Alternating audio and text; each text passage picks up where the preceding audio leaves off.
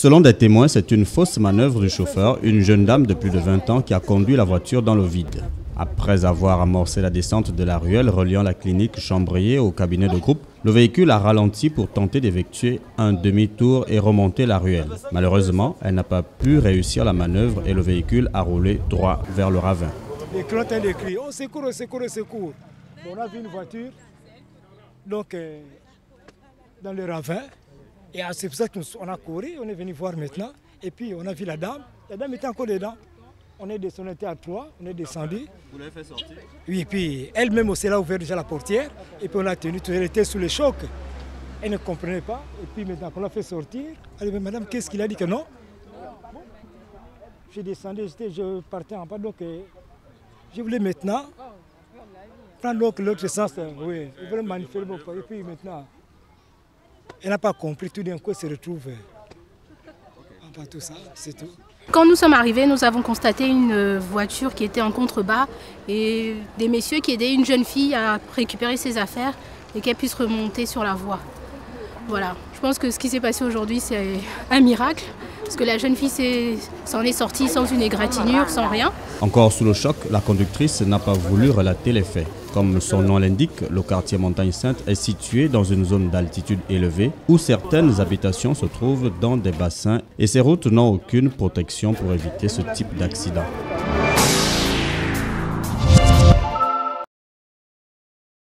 Le feu a presque tout emporté sur son passage. Il était 9h à peu près lorsque les populations de ce quartier situé dans la commune d'Ovendo ont été alertées par les cris et les flammes qui ravageaient les habitations voisines. J'étais à l'intérieur, j'étais en train de faire un petit boulot là. C'est comme ça que les enfants viennent m'appeler. Ils me disent que non, tonton, toutes les maisons qui sont derrière sont en train de brûler.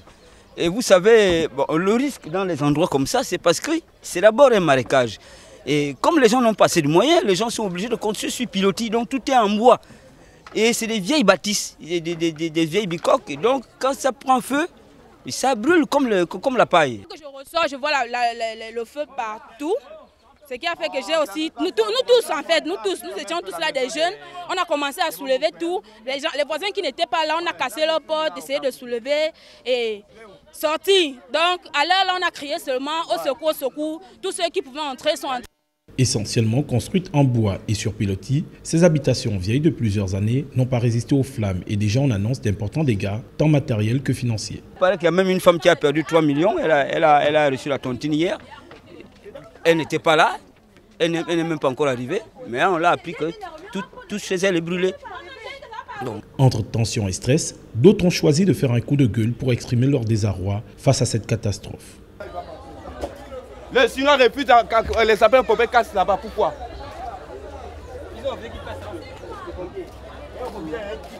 Il faut dire pour qu'on les vend le terrain, pour que les gars ne pas habiter maintenant en Chine. on va voir ça après. L'origine du feu n'est pas encore connue, mais plus de 20 foyers ont voulu en fumer selon les populations, faisant au passage plusieurs sans-abri.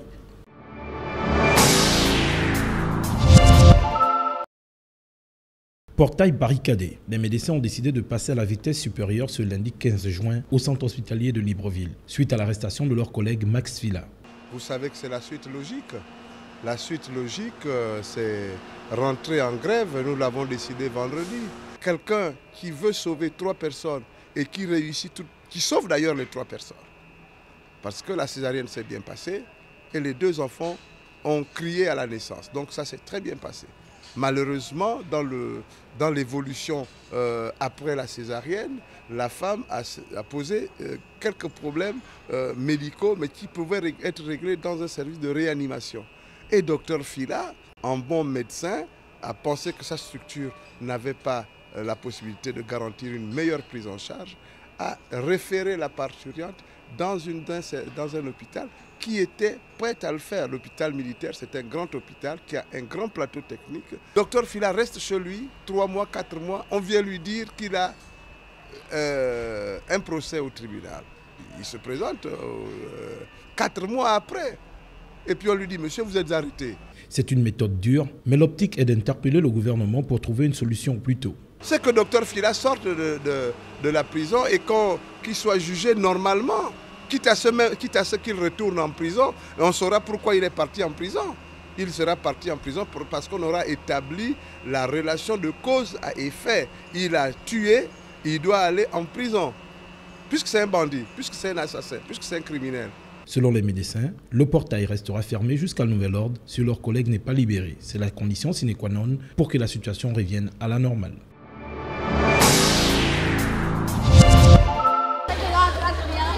Études et textes édités ont servi de préalable hier à l'ouverture de la séance des épreuves écrites de l'examen blanc du certificat d'études primaires élémentaires au sein des établissements scolaires primaires au Gabon. Les épreuves se sont poursuivies ce vendredi 19 juin pour la phase finale. Certains élèves sont plutôt confiants quant à la réussite à cet examen. Ce matin, on a fait l'épreuve de calcul mental, l'épreuve de problèmes, et l'épreuve de dessin. Quand j'ai terminé, je suis allée déposer ma copie sur le bureau. C'était pas trop compliqué, j'ai pu m'en sortir et je suis sûre de gagner. C'était pas très facile, mais c'était quand même facile. J'ai réfléchi, j'ai euh, retenu ce qu'on m'a dit en classe et travaillé dans la feuille. Ce président de l'un des centres d'examen s'est dit également être rassuré du taux de réussite élevé des élèves à cet examen. Ici, vous êtes euh, au centre d'Akebe 1A. Le président, c'est moi. L'adjoint, oui.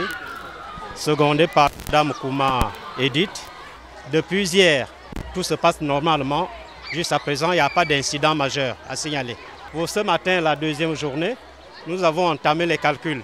Le matin, en matinée, c'était le problème. Après le problème, nous sommes passés au calcul mental. Et actuellement, comme vous le constatez, les, euh, les élèves, les candidats viennent terminer avec l'épreuve de dessin, dont la dernière épreuve. Aussi, en dépit de nombreuses perturbations enregistrées au cours de cette année dans le secteur éducation, l'examen blanc, selon certains examinateurs, s'est passé dans la sérénité.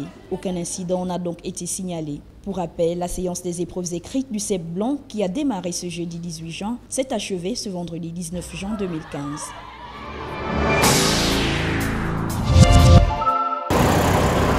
Nous voulons la restitution de nos bons de caisse du mois de mars, avril et mai et le paiement intégral de la PIF. Tels sont des propos qu'on pouvait lire sur l'une des banderoles accrochées à la barrière du ministère de l'Éducation nationale. Des écrits qui justifient sans doute ce nouveau sitting de la CONACICED au sein de leur ministère de tutelle. Nous cherchons toujours à comprendre ce qui peut justifier que les bons de caisse du mois de mars, avril et mai soient euh, pour l'essentiel retenus au niveau de l'éducation nationale sans pourtant être distribué aux ayants droit.